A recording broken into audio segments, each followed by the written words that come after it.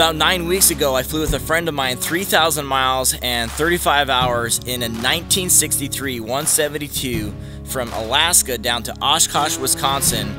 We dropped it off here at NewView Technologies where we're getting an extreme panel makeover done.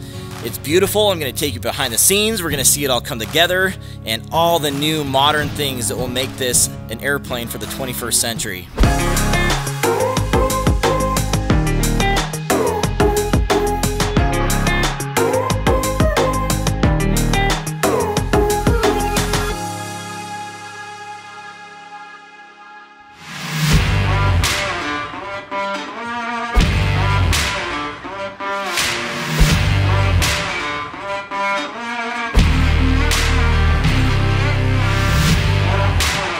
Before we dive in and get going on the panel, it's worth mentioning that this kind of work just doesn't happen overnight. It takes a lot of time, a lot of effort. A handful of weeks went by from the time I dropped off the airplane, which you guys saw in the last episode, to the time when I came back. There's a lot of work to be done. We've got to design. There are many parts to be ordered. We're tearing out all the old wiring. More design after that a lot of the work went on behind the scenes with everything coming together, as you can see here from the footage Jessica captured when I wasn't there. In the meantime, it was sun and fun in Florida, so I took a trip down south. First, I visited my friend Josh from the Aviation 101 YouTube channel. He lives in Texas. So we flew around Texas a little bit. We got some famous barbecue. About to take on Texas barbecue. And then we flew from San Marcos to Orlando along the coastline, seeing New Orleans from the air. That was a new one for me. So that was a real good trip with him. In Orlando, we spent a handful of days flying information as friends, seeing the sights, and going to Sun and Fun.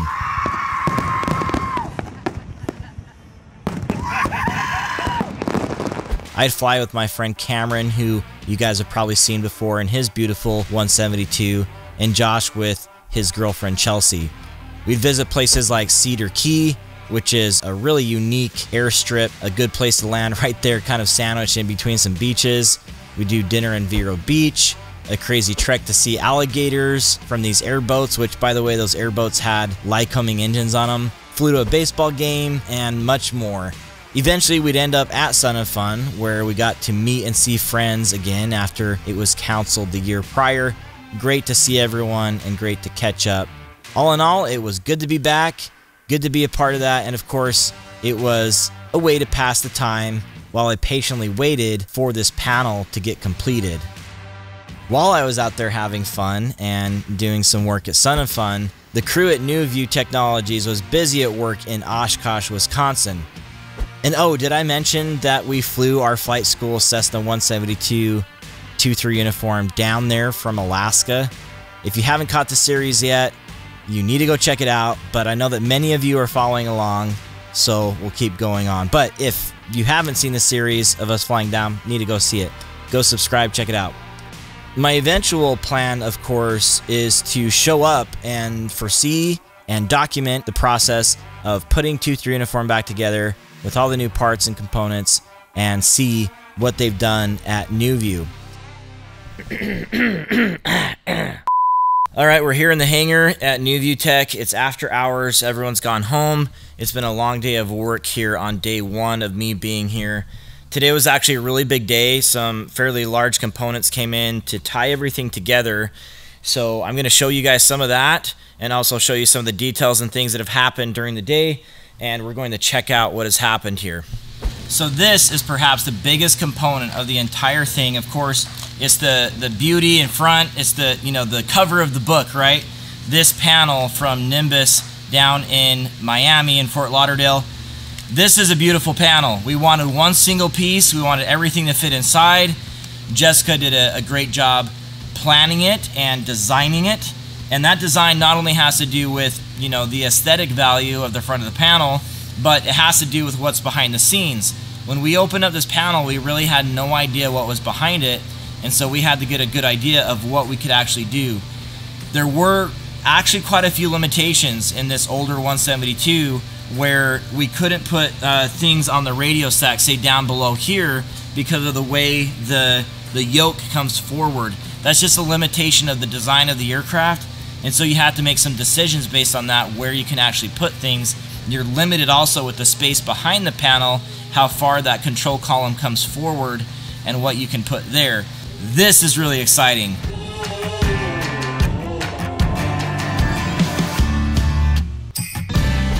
This next part is a doozy. There are wires everywhere. It is like a gigantic spaghetti bowl of electronics in here, of wires. It is just crazy. Jesse has been working on this component all day, and I can tell you that from someone who doesn't know about this process, it is extremely complicated. There are tons of schematics and drawings and things that you have to follow to wire each little wire into each little component of the airplane. So today he was finishing up a lot of the harnesses behind the scenes that will go into fitting all those into the avionics that we put on the panel and put the panel on the plane. When we came in, at the at the very beginning when we flew in from Alaska, Daniel and I had an opportunity to tear the panel apart and break everything off and uh, and kind of have some hands-on just taking out the old and bringing in the new. When you tear down an airplane and you see behind the scenes for the first time, you learn a lot about where it's been. 63, 172, obviously there was a lot done in those years, not only from the original structure, but Cessna improved things over time and each model year is just a little bit different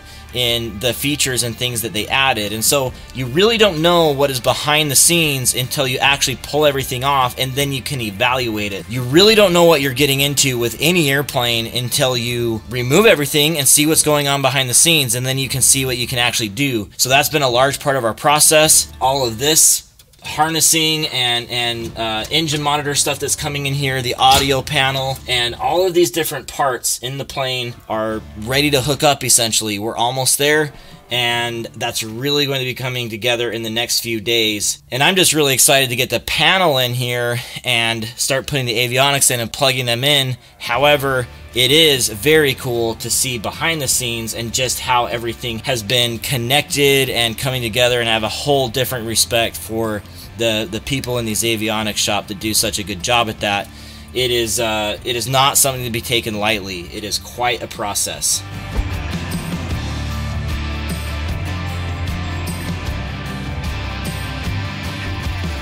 So yesterday when I came in, this was the first thing I saw. Now, the paint job on this airplane has been so bad for so long that I thought there was no possible chance that we could get anything restored on this plane. Now, for those of you that have seen my plane before, this I thought was matte orange instead of gloss. However, Brian here at NewView picked me up from the airport, brought me in, and this was the first thing I saw was how much work he had done on this airplane. And we're we're talking really rough surfaces all over the airplane, what he called oxidation that had happened all over the aircraft, all surfaces, especially those surfaces that are, uh, you know, like horizontal, the wings, the horizontal stabilizer, anything where the weather is really coming down on it, the snow is settling on it, was really a big problem. But I am super impressed with how well he did. Look at this mirror finish on this thing. He is a rock star. The way he explained it was it gets a couple extra years out of the airplane to buy me some time to figure out the paint job. Now, that's going to be something I do down the road. Obviously, getting the panel done and all the avionics is a very expensive endeavor, and I've got to get the airplane back to Alaska for the flying season there. So it's certainly not something that I want to do right now, but this gets me a nice looking airplane, gets it all polished up as best as it can be, and buys us uh, a couple years. So really, really happy with that. And it's, you know, it's nice to get an old looking airplane looking nice and shiny, and we did the best we could on that. So props to Brian again. Hey y'all, a real quick message here. If you're enjoying this video and doing flight training now or in the near future, check out our online ground school. Pass the written test, prepare for flight training, and become a safe aviator. And you get to support this channel at the same time. Join today at angleofattack.com. Alright, back to the video. 734 over Victor, runway 27, you clear to land, wind 070 at 5. Clear to land 734, uniform Victor. Ryan from Super Aero stopped by. If you don't know who he is, go check out his YouTube channel. What's up? You made it! I made it. It was a little sketchy, but got it done. What was sketchy? I'm just kidding. I was like, I was feeling pretty good about No, all it that. looked great, man. This is fun. I've never like just. Flown into Oshkosh. I mean, I've flown to like Basler, but I've never just like gone to another hangar. Mm-hmm. You know. All right, Ryan from Super Aero here. What's up? Flew up from. Are you based in Madison? Uh, Timmerman. Timmerman. Sweet. So he's Milwaukee. here to. He's here to see the uh, the project. I'm gonna take a lot of pictures and then tweet them out. Okay, tweet them. Ryan does a fantastic Super Aero Live every Wednesday, talking to a notable person in the aviation industry. Ryan is a local to Wisconsin and always a hoot. I just love hanging out with him. Funny dude, and I had to show him uh, 2 3 uniform. There she is, looking a little disheveled, huh? I think it looks pretty shiny. It looks really shiny. But like my Patreon supporters are like super into uh, building, Okay. right? And so we're always talking every Wednesday nights. Every Wednesday night we do like a little Zoom chat. And we're always talking about panels and stuff. And everyone's just like, throw the G3X in there, call it a day. But like I would miss this mm-hmm. stuff. Yep. Does that make me old or does that make me? Well, you know you can tweak the G3X so it has. No, I know, but I like the idea of like. How that we go. I like this camera. Great. I feel bad that I bought like a really expensive cinema camera. Yeah.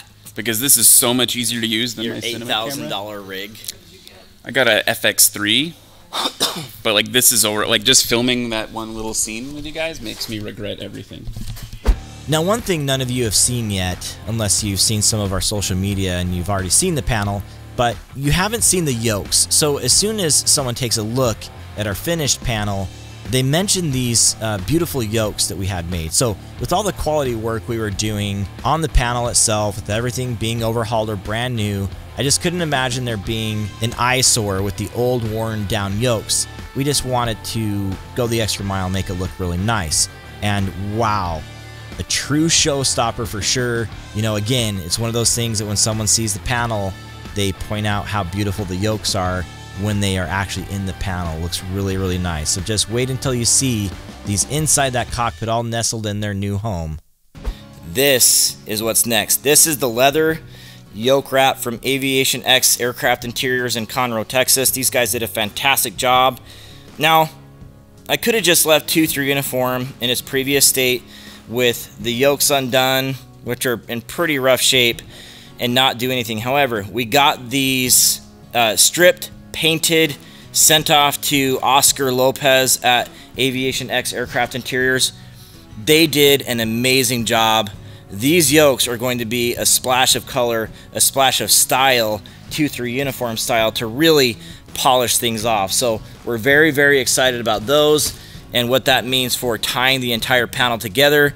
Of course, we have some things already built into those, like push to talk and something else I'll tell you guys about later that's really exciting. So lots of great components coming together. Most of them are practical and things that, that are needed to get this plane IFR, but some of them are these nice to haves to really polish off the panel um, while we're at it. So this may be the only time 2-3 uniform is upgraded ever. So let's let's get after it and do it the right way, right? So those yokes are looking awesome.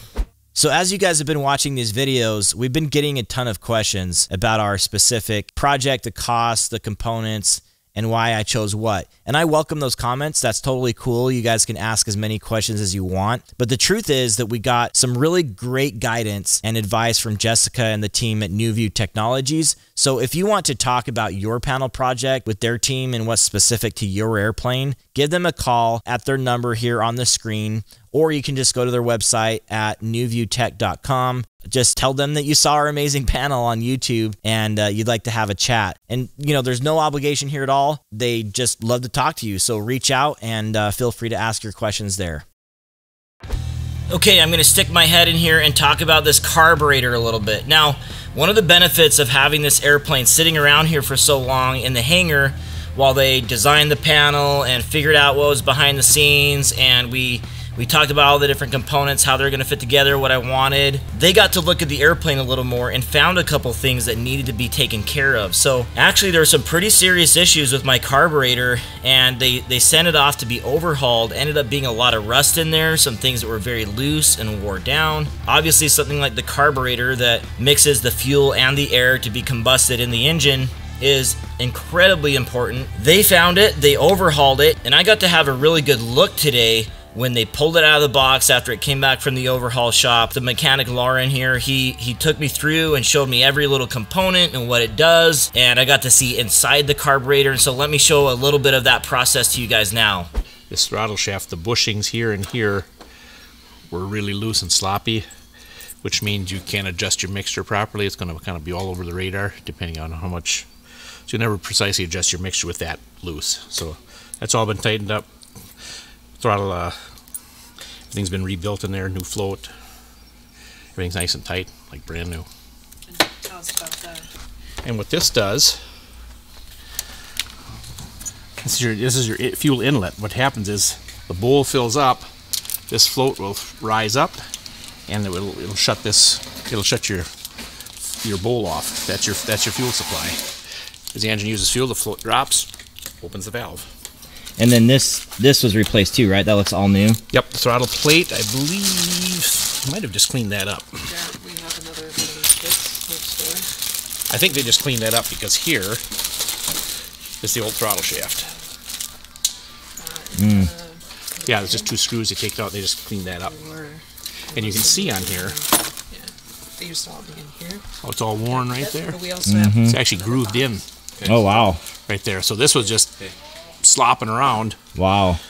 So whatever you choose your mixture adjustment, this is for that to be accurate. This has to seal. With that not sealing, your mixture is kind of going to be bouncing all over the place. And then where is the uh, you guys tapped in for the carb temp as well? Yeah, I'm tapped in. Okay. Just got to modify that because this little guy is going to see. We got to clear that so that thread's in there. Oh yeah. So let's have, uh, get that get that lip right there off Yeah, a we just little got to re- relieve that so we can thread that in. Very cool. Well, I'm really glad we caught that and got it all They also changed. got it addressed. This, this is the uh, plunger. This is the accelerator pump. Mm-hmm. When you stroke your throttle, you get an extra shot of fuel. This was working, but it's it's pretty it's worn.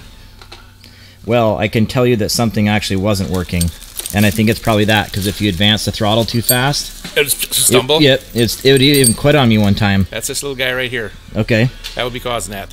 Yep. This is going to give you that little extra squirt of fuel, so Yep. the engine will pick Just up. Just has right that away. reserve, right? Yep, that when just a- you a little squirt to, until the carburetor catches up. So if this isn't working, that's a common problem. You yep, advance the throttle, it's going to stumble until it catches up. there we go. So you can actually bend. And this is your mixture adjustment. Mm-hmm. And this screw sets your idle mixture. Hmm. Because if you notice, when the throttle is closed, there's the there's the idle supply right there. So theoretically, interesting.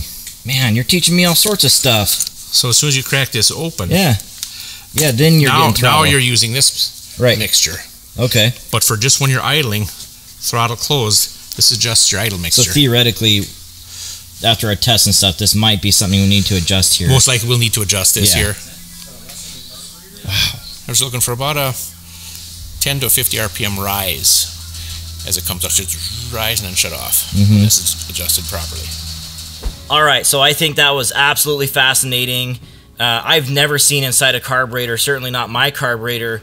And just to get a behind the scenes look on what's going on and have some more education on the different parts of the carburetor was was very cool for me. I hope you guys learned something as well. One extra thing we're getting with this is we're getting carb temp, which I've never had before. Obviously, living in Alaska, lots of moisture around the coast where I live, cold temperatures. Carb ice is an issue, and so now I'm going to have a, a carb temp monitor that will allow me to see what's going on with the carburetor. So that's an extra little plus I get on top of just getting the carburetor done right so that the engine continues to run well.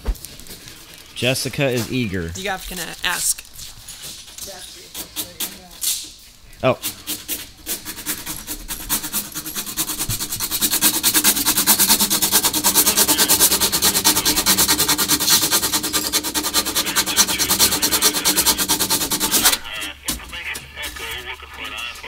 Ready when you are, Jesse. Can't show you what it is because Chris would hurt me. There's a thing that's happening. Nope, nope, nope, nope, nope, nope. All right, Ryan's going to be here for the big moment. We're about to put the Sweet, panel cool. in. This is this is it. This is the moment.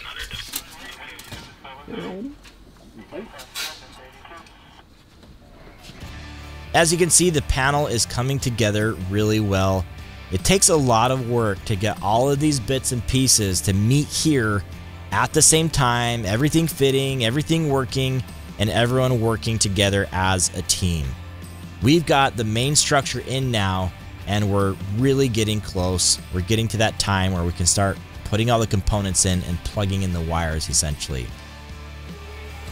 Okay, it's been another good long day of work here on the panel. Um, Jessica's working hard into the night. It's almost 10 p.m. now. I just been hanging out, helping with whatever I can help with. So one of the biggest projects today, the biggest project was the actual panel. So it took a lot of work in and out, in and out to uh, trim things, to file things, to make sure that every little uh, piece fit. Is mostly uh, an issue with the powder coating that was on the inside of of some of the openings. So got a lot of that figured out. Got the the glare shield on, and that entire process just kind of took all day. So now there's already progress being made on putting the instruments in and getting all of the wires connected to where they need to be. A lot of the avionics stuff is already connected to the harnesses, but the circuit breakers need to be hooked up. The switches along the top were all hooked up. We've got the USBs hooked up. The ELT hooked up, so it's accelerating fairly quickly now. Um, getting really close on on most of it, and